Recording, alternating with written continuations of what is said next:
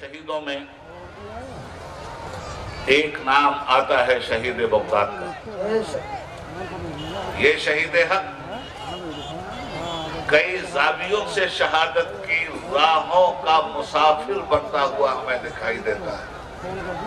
کلمہ توحید کی شہادت دینے والا کلمہ رسالت کی شہادت اپنی زبان سے دینے والا، اللہ کی عبادت کی شہادت اپنے تڑپتے ہوئے پیشانی کے سجدوں سے دینے والا۔ اللہ کی ریاضت میں تسبیح و تحلیل سے گزر کر شہادت دینے والا۔ اللہ کے دین کی شہادت دینے کے لیے جامع اظہر تک سفر کرنے والا۔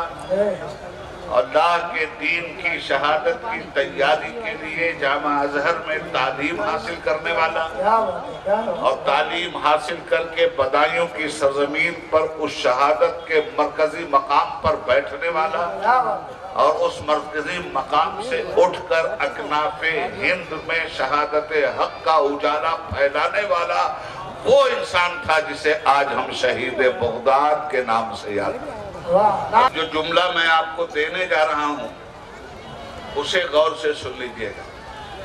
شہید کا اتنا اونچا مرتبہ ہے، اس کو دوامی زندگی دی جاتی ہے، اس کی موت پر حیات کی سند بانٹی جاتی ہے۔ دنیا کی جب نبض ہستی ڈوبتی ہے، تو موت کا سرٹیفکیٹ اسے ڈاکٹر دیتے ہیں۔ اور شہید کی نبض ہستی جب ڈوٹتی ہے تو خدا زندگی کا سرٹیفکیٹ شہیدوں کو تو ہونا چاہیے نازاں شہادت پر۔ یہ شہیدوں کا مرتبہ ہے۔ اب سنیے جو آدمی صرف شہید نہ ہو اس کی شہادت کے ساتھ اس کی عالمیت بھی ہو۔ اس کی شہادت کے ساتھ اس کا علم قرآن بھی ہو۔ ایسا شہید جو عالم حدیث بھی ہو۔ ایسا شہید جو اسلامی اسٹیج کا مقرر بھی ہو۔ ایسا شہید جو اسلامی تعلیم کا محرر بھی ہو۔ ایسا شہید جو مصطفیٰ کی فکر کا مفکر بھی ہو ایسا شہید جو صحابہ کا تابدار بھی ہو ایسا شہید جو غلام غلامان اہل بیت اطہار بھی ہو۔ ایسا شہید جو غوث العظم کا شیدائی بھی ہو۔ ایسا شہید جو خواجہ اعظم کا فدائی بھی ہو۔ ایسا شہید جو اپنے خاندان کے بزرگوں کے رہنما اصول و خطوط پر چلتے ہوئے عوام الناس کو اسلام کی راہ پہ لے جانے والا مرکزی رہنما بھی ثابت ہوا۔ ایسے شہید کے بارے میں میں الفاظ کہاں سے لاؤں؟ لوگ کہتے ہیں کہ عبید اللہ عظمی لفظوں کا محتاج نہیں۔ الفاظ عبید اللہ عظمی سے کہتے ہیں ہمیں پکڑو ہمیں پکڑو ہمیں پکڑو۔ مگر آج جس علم کے آسمان پر چمکتے ہوئے نیر تابہ کے بارے میں عبید اللہ عظمی بول رہا ہے آج الفاظ کی کمی محسوس کر رہا ہے۔ آج فکر و نظر کی اس عظیم ترین ہستی کے تفکر کو پیش کرنے میں معلوم نہیں کیوں الفاظ کو ڈھونڈ ڈھونڈ کر لانے کی کوشش میں آپ کا یہ خطیب مصروف کار ہے ایسی شخصیت جو اپنی شہادت کے بعد دوہرے اجر کی مستحق بن گئی۔ نبی مکرم صلی اللہ علیہ وآلہ وسلم نے ارشاد فرمایا فضیلت عالم باعمل کے بارے میں کہ عالم باعمل جو اسلام کی تبلیغ کرتا ہے اور اپنی تحریر سے قرآن و سنت کی وضاحت و تشریح کرتا ہے، ایسے عالم باعمل کے قلم سے نکلی ہوئی سیاہی کل میدان محشر میں شہیدوں کے خون کے ساتھ تولی جائے گی۔ اور شہیدوں کے خون کے برابر اس کا مرتبہ ہوگا۔ قلم کی وہ سیاہی جو سنت رسول کے اجرا کے لیے نکلی ہو۔ قلم کی وہ سیاہی جو قرآن کریم کی خدمت کے لیے ضابطۂ تحریر میں آ گئی ہو۔ جو حدیث مصطفی کی تشریح و توضیح کے لیے کتابی شکل اختیار کر گئی ہو۔ ایسے عالم دین کے قلم کی سیاہی کو کل رب العالمین شہیدوں کے خون کی برابری کے ساتھ تولے گا۔ تو اب یہ تو ایسے شہید بغداد ہیں کہ شہید بھی ہوئے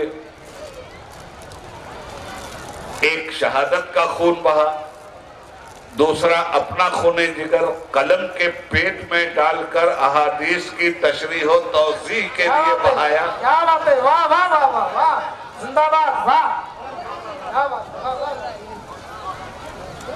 اس دوہرے اجر کا مالک ہے۔ جس کو ہم شہید بغداد کے مقدس نام سے یاد کر رہے ہیں۔ ابر رحمت ان کے مرکز پر گوہر باری کرے۔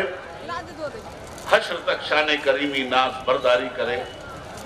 فنا کے بعد بھی باقی ہے شان رہبری تیری۔ خدا کی رحمتیں ہوں اے امیر کارواں تجھ پر۔ گولیوں سے سینہ چھلنی کر دیا گیا۔ بغداد شریف کی پاکیزہ سرزمین پر۔ اللہ اور رسول کا دل دادا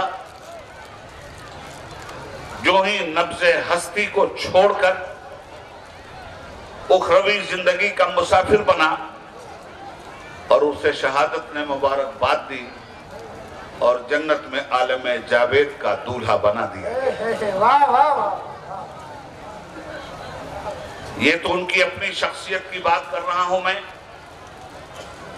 ان کے نام کی بات کر رہا ہوں میں ان کے علم و فضل و عمل کی بات کر رہا ہوں میں۔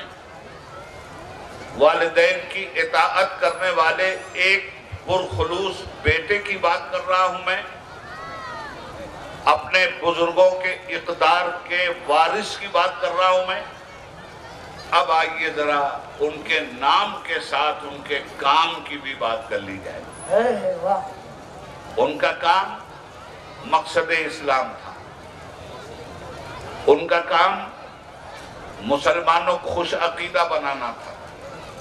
ان کا کام مسلمانوں کو صالحیت کا جامع پہنانا تھا۔ ان کا کام جھوٹی حدیثوں کو بے نقاب کر کے سچی حدیثوں تک مسلمانوں کو لے جانا تھا۔ ان کا کام بدعقیدگی کے آنے والے تیروں کو اپنے قلم کو تلوار بنا کر توڑ دینا تھا۔ ان کا قلم وہ اپنی زبان سے جو لوگ صاحب زبان ہوتے ہیں یاد رکھیے گا۔ صاحبان زبان کی دنیا محدود ہوتی مگر صاحبان قلم کی دنیا محدود نہیں ہوتی۔ میں بول رہا ہوں ہی کی آبادی کے قریب کے وہ لوگ جو اس جلسے میں نہیں آئے ہیں انہیں نہیں پتا کہ میں نے کیا کہا ہے آپ سے۔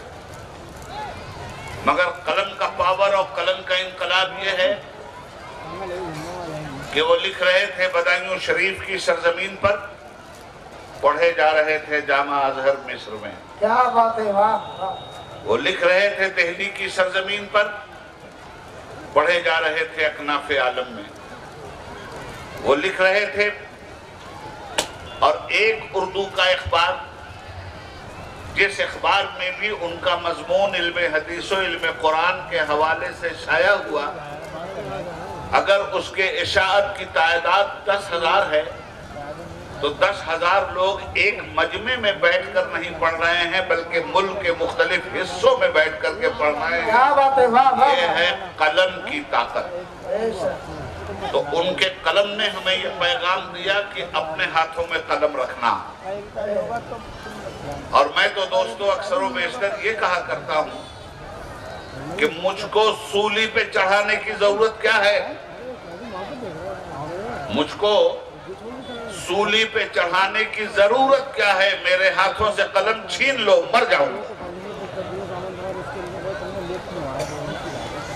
وہ صاحب قلم تھے۔ انہوں نے اپنے قلم سے ہمیں اسلامی عقیدہ بھی پڑھایا اور اسلامی عمل بھی۔